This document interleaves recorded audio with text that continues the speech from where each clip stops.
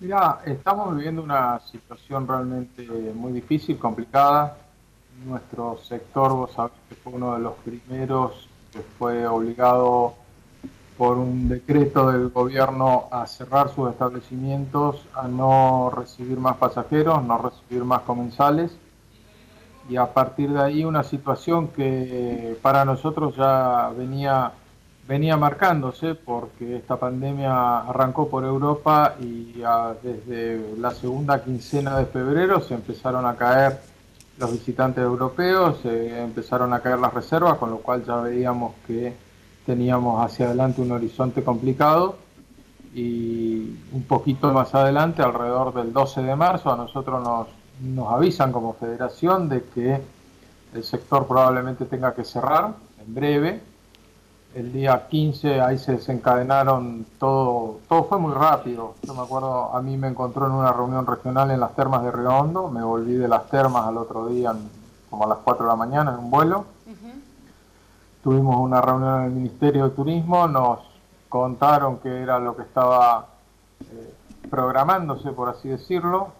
La realidad es que nos avisan dos o tres días antes que si bien ellos no tenían certeza de cuándo se iba a decretar el aislamiento, el aislamiento se iba a decretar.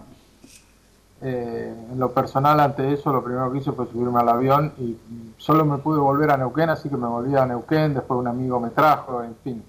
Y, ahí ya cuando llegamos, eh, entramos, entramos en, en, la imposibilidad de seguir con los establecimientos abiertos y a partir de ahí otro decreto que obligaba a la devolución de reservas y a partir de ahí cero cajas, cero facturación y, bueno, a, esperar, a acompañar las medidas sanitarias, a, acompañar el esfuerzo del gobierno, el esfuerzo de todos. Eh, recordarás, nosotros fuimos de los primeros en el país en salir a decir de que el éxito del fin de semana largo hubiera sido, iba a ser la ocupación cero. Sí. Eh, después volvimos a juntarnos en varias oportunidades con las autoridades, tanto con el intendente como con autoridades de policía, de defensa civil y demás, como para tener un poco más claro el panorama. Y así hasta el día de hoy estamos con los establecimientos cerrados, con plena incertidumbre de cuándo se va a poder retomar la actividad, aunque sea en forma parcial. Sabemos que nada va a ser normal, sabemos que estamos en una actividad que más allá de ser de las primeras que sintió el golpe, va a ser de las últimas en recuperar, porque, eh, qué sé yo, por ejemplo, Aerolíneas ya anunció que no hay vuelos de cabotaje hasta septiembre. Las rutas están cerradas, los colectivos no tienen ningún diagrama tentativo por ahora de transporte.